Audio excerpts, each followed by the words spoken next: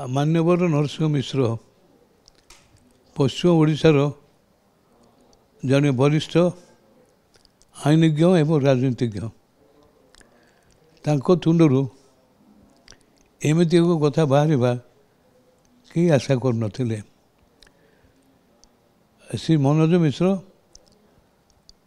ଜଣେ ସିନେମା କଳାକାର କୌଣସି କାରଣରୁ ସିନେମା ଯେଉଁମାନେ କରୁଛନ୍ତି ତାଙ୍କର ଆସୋସିଏସନ୍ ଅଛି ତାଙ୍କ ପ୍ରତି କିଛି ଦଣ୍ଡ ବିଧାନ କରିଛନ୍ତି। ଯେ ସେଇଟା ତାଙ୍କ ଭିତରେ ନରସିଂହ ମିଶ୍ର ଯଦି କଥାବାର୍ତ୍ତା କରି ମିଳା ମିଳାମିଶା କରିଦିଅନ୍ତେ ଭଲ ହୁଅନ୍ତା।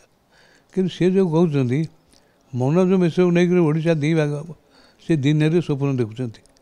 ସାଢ଼େ ଚାରି କୋଟି ଓଡ଼ିଆ ଜଣେ ସିନେମା ଆକ୍ଟର ପାଇଁ ସେ କେବେ ରାଜ୍ୟକୁ ଦୁଇ ଭାଗ କରିବାକୁ ଦେବେ ନାହିଁ। ନରସିଂହ ବାବୁ ଏକଥା କହିବାଟା ଆଦୌ ଉଚିତ ନୁହଁ। ନରସିଂହ ବାବୁ କହିଲେ କ'ଣ ଓଡ଼ିଶା ଦୁଇ ଭାଗ ହେଇଯିବ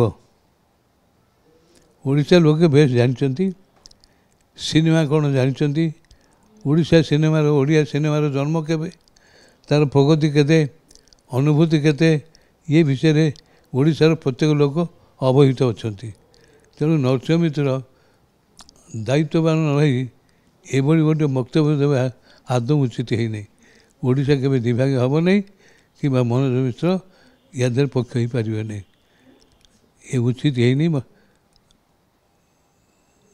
ନରସିଂହ ମିଶ୍ରଙ୍କର ଯଦି ସେ ଚାହୁଁଛନ୍ତି ଜଣେ କଳାକାରଙ୍କୁ ଯଦି ତାଙ୍କର ଆସୋସିଏସନ୍ ବାତିଲ କରୁଛି ସେ ମଧ୍ୟସ୍ଥତା କରି ତାଙ୍କର ସାମିଲ କରାଇ ଦିଅନ୍ତୁ ମିଳାମିଶା କରିଦିଅନ୍ତୁ କିନ୍ତୁ ଓଡ଼ିଶାକୁ ଦୁଇ ଭାଇ କରିବାକୁ କେବେ କହନ୍ତୁନି ନରସିଂହ ମିଶ୍ରଙ୍କ ଭଳି ଜଣେ ବରିଷ୍ଠ ରାଜନୀତିଜ୍ଞ ଜଣେ ବରିଷ୍ଠ ଆଇନଜ୍ଞ ଏବଂ ବର୍ଷିଆନ ରାଜନେତା ତାଙ୍କୁ ଏଥିପାଇଁ କେବେ କ୍ଷମା ମାଗିବା ପାଇଁ ମୁଁ କହିବାକୁ ଉଚିତ ଭାବୁନାହିଁ।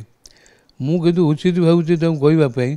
ଜଣେ ବରିଷ୍ଠ ନାଗରିକ ଭାବରେ ଓଡ଼ିଶା ପ୍ରତି ତାଙ୍କର ଯେଉଁ ଦାୟିତ୍ୱ ଅଛି ସେ ଦାୟିତ୍ୱ ତୁଲାଇବାକୁ ଯାଇ ସେ ଇଏ କଥାର ସମାଧାନ କରନ୍ତୁ ଏବଂ ମନୋଜ ମିଶ୍ରଙ୍କ ପାଇଁ ଓଡ଼ିଶା ଦୁଇ ଭାଗ ହେଉ ଏ କଥା ସେ କେବେ ଆଶା ନ କରନ୍ତୁ।